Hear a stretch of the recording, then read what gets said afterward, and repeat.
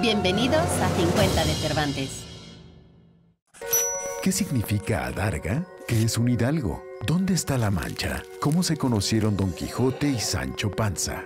Desde 2021 puedes encontrar en línea el chatbot llamado Dulcinea, una asistente virtual que puede ayudarte con estas dudas e inquietudes. Desarrollada por la empresa tecnológica One Million Bot, Dulcinea es capaz de responder a más de mil preguntas sobre el Quijote, significado de palabras, refranes y dichos, quiénes fueron los personajes mencionados, los lugares y aventuras narrados. ¿Qué le preguntarías a tu Dulcinea? Esto fue 50 de Cervantes.